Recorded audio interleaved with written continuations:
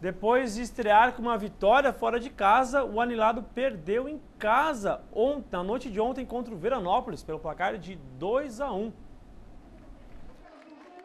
O Noia perdeu diante de sua torcida pela segunda rodada do Gauchão 2011. O Novo Hamburgo começou levando perigo ao Veranópolis, tendo o gol anulado de Cláudio Luiz, que fez falta no goleiro adversário. O Veranópolis abriu o placar aos 23 minutos do primeiro tempo. Eber recebeu o cruzamento de Marcos Paraná e fez. Veranópolis 1, Novo Hamburgo 0. Aos 42, Rodrigo Ninja ampliou após receber cruzamento de Eber. Final da primeira etapa, Veranópolis 2, Anilado 0. No segundo tempo, Noia foi melhor.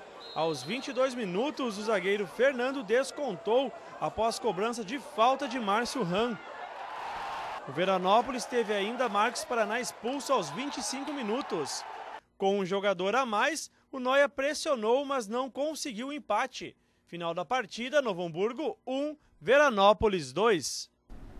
O Anilado tem pela frente agora o Pelotas neste sábado, às 8h30 da noite, também no Estádio do Vale.